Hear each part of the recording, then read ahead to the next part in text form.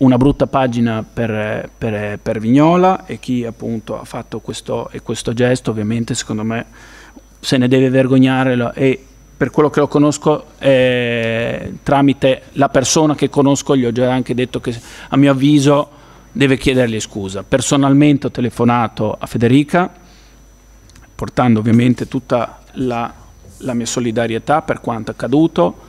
Io ero presente al, eh, al comizio, ero nelle prime file, non mi sono accorto di nulla.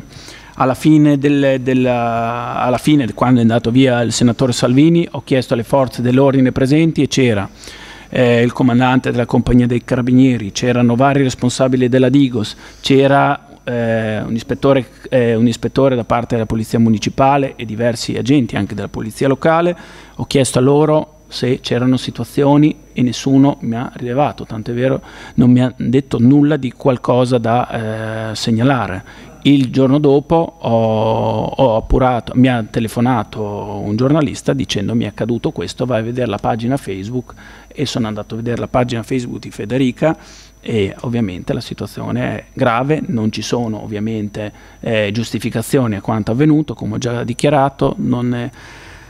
certo è che appunto a mio avviso ehm, se si voleva fare un dibattito un po' più proficuo e produttivo, queste interrogazioni, si poteva trovare il modo di trasformarle, tanto farle pervenire come quelle che arriveranno dopo.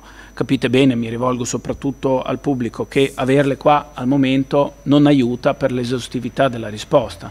Tant'è vero che in qualsiasi regolamento comunale che abbiamo visto è un'anomalia tutta vignolese, perché sì, quanto più spazio si vuole dare ovviamente alle domande, anche dell'ultimo minuto, capisco bene, ma averle, visto che è anche da giorni che qualcuno ha pubblicato che ci sarebbero state queste interrogazioni, quindi se c'era già l'intenzione, se si voleva fare un servizio alla comunità, almeno di chiarezza, di, poi dopo di chiarezza nelle opposte vedute, di chiarezza nelle ovviamente opinioni che possono essere contrastanti e quant'altro, se uno riesce a prepararsi un po' meglio la risposta prima, ovviamente questo eh, aiuta il dibattito. Ecco, e quindi su questo l'invito ovviamente alle opposizioni di D'altra parte questo regolamento poi non consente ovviamente a, a, tutto il Consiglio di poter intervenire, quindi questa cosa è limitante perché alla fine della mia risposta i consiglieri potranno esclusivamente dichiararsi se sono soddisfatti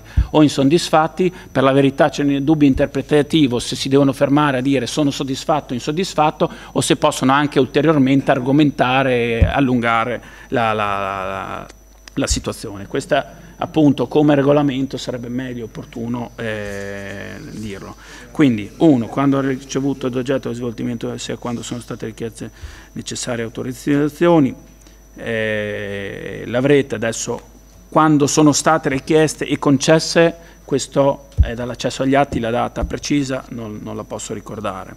Eh, se al corrente di episodi che si siano verificati, mi pare di aver risposto, se la manifestazione di Bambinopoli ha comportato una parziale modifica degli appuntamenti già calendarizzati, assolutamente no. L'unica cosa che c'è stata rispetto eh, al, al, calendario, la, eh, l'anticipo da. Eh, la, l'anticipo eh, della premiazione dello sportivo dell'anno, delle varie menzioni, del, una vita per lo sport, cioè quella commissione a cui è stato fatto eh, per esigenze del talent, cioè il conduttore che insomma un professionista ci ha chiesto di non interrompere eh, il talent perché inizialmente era stata prevista eh, la, diciamo, un intermezzo di questa premiazione all'interno del talent così da eh, protocollo. Invece tanto è vero che appunto mi chiamò l'assessore Venturi e anche l'addetto stampa dicendomi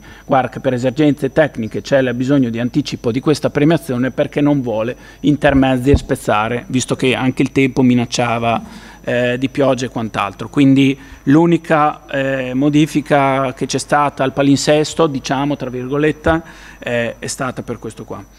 Eh, per rispondere all'altra, se si è verificato che qualcuno dei nostri tesserati ha sbagliato, questo non sono ancora in grado, ovviamente ho segnalato, non, non sono il, non sono eh, tra i responsabili de, de, de, della Lega, Nord, della Lega eh, del Comune, credo che faranno eh, tutto quello che ehm, c'è da fare perché ovviamente questo atto sicuramente porta in cattiva, assolutamente in cattiva luce un movimento eh, politico che c'è da anni su Vignola, penso che nei, nei, nei responsabili e nei, chi ci ha messo la faccia per questo movimento su Vignola da tanti anni ha, eh, anche avuto il consenso proprio per eh, non avere mai posizioni estreme, per non avere posizioni ovviamente di, eh, anzi di assolutamente di buona educazione. Sappiamo, sappiamo è successo anche l'ultimo eh, Consiglio dell'Unione su cui appunto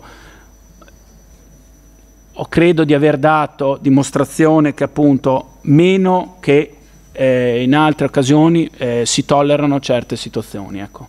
Quindi mh, sono, è capitato in tempi non sospetti, quindi questo posso citarlo eh, in questo senso. E credo che da parte della Lega Vignolese ci sia questa ferma intenzione ovviamente di eh, condannare questi atti e coloro che ovviamente se ne macchiano, se fanno parte ovviamente di quel movimento, i provvedimenti sono più che doverosi.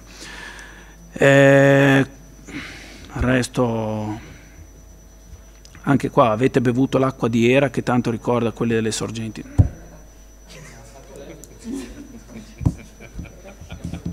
Mauro, ma Maurino!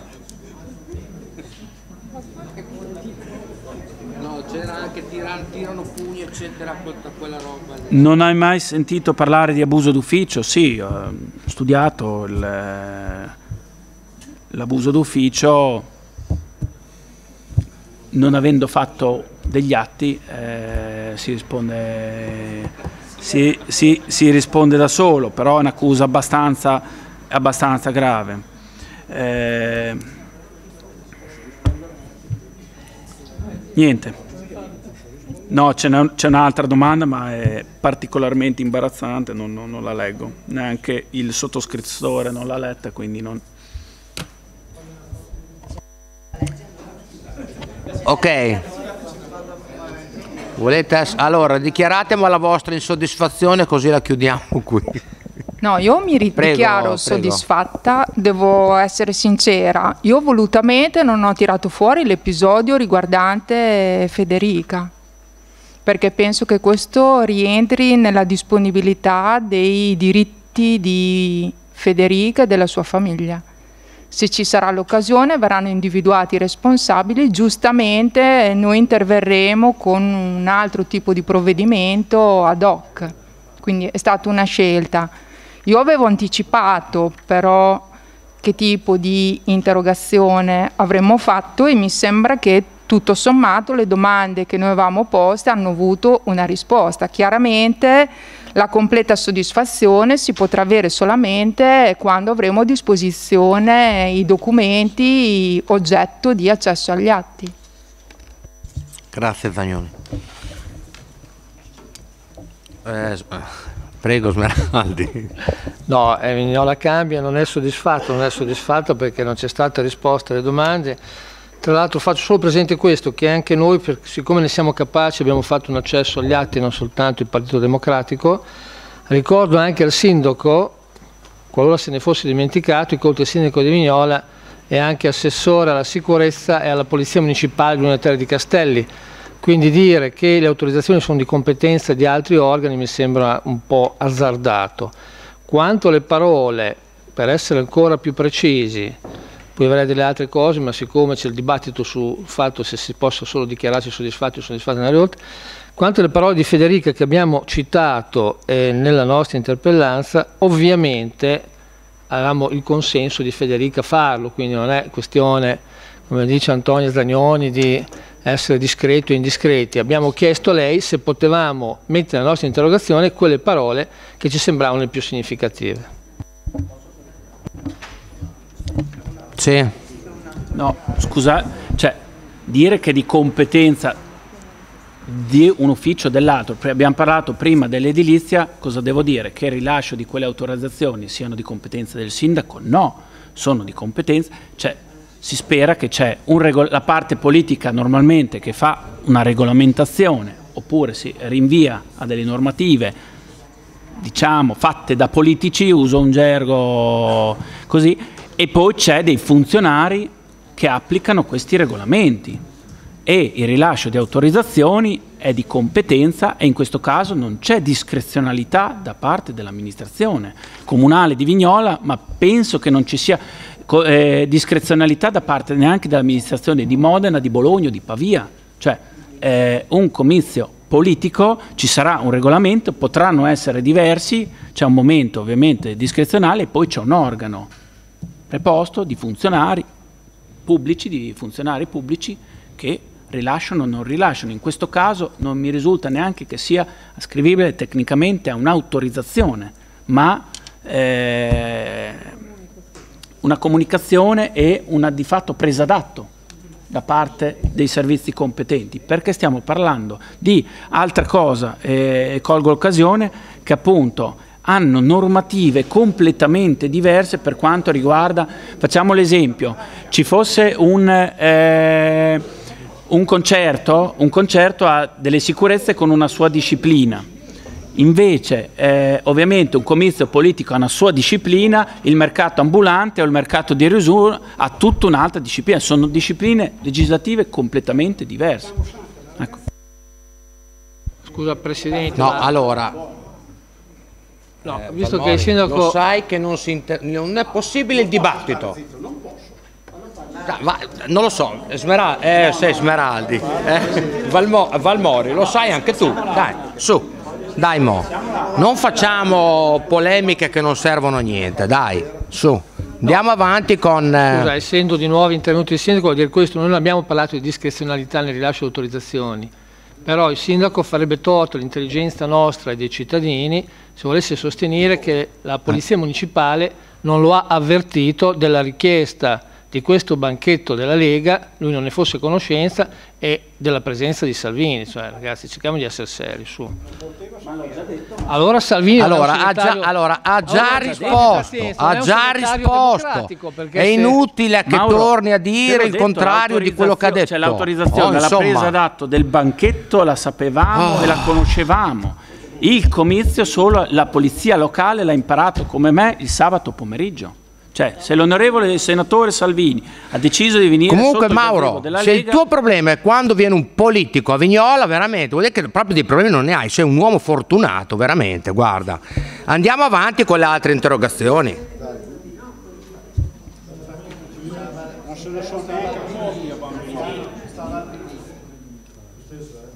Ah, ma si mettono d'accordo loro, chi vuole...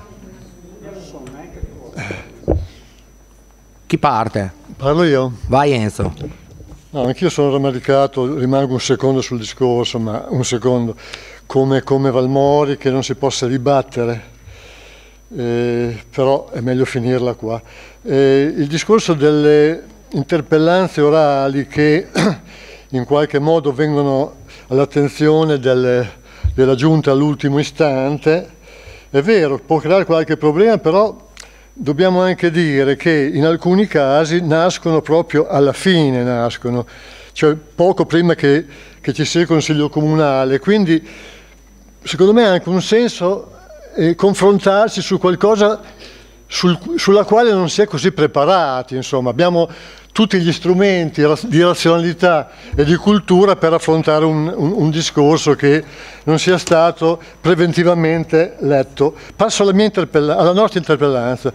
L'oggetto è il centro storico. L'argomento dell'interpellanza è di notevole peso specifico in quanto centrale nella vita e nella storia di Vignola.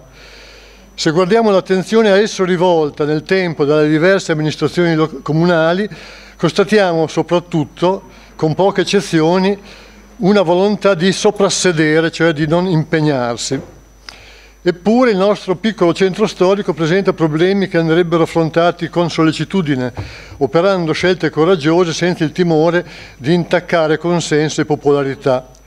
Non intendiamo soffermarci sull'insieme delle questioni, non, non, può essere la sede, ci limitiamo a sfiorare, sfiorare il tema mobilità, in realtà meritevole di un confronto eh, di ampio respiro, non riducibile alla nostra serata di Consiglio Comunale.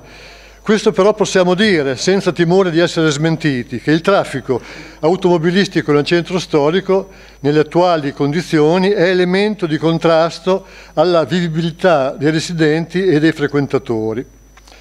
Suggeriamo per ora un piccolo intervento, io ho scritto interventino con le, con le virgolette, indolore, secondo noi, anche per coloro che vorrebbero utilizzare l'auto dovunque e comunque questo intervento darebbe un primo contributo al ridimensionamento di pericolosità, inquinamento e fastidio.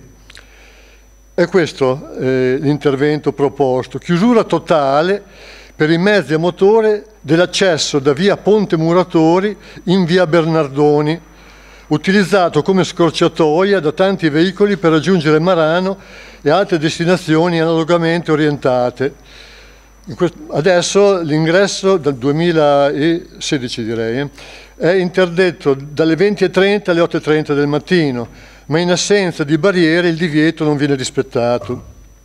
Chiediamo con convinzione dovuta un'analisi ormai pluriennale della situazione venga analizzato a fondo il contesto indicato e conseguentemente sia preso in seria considerazione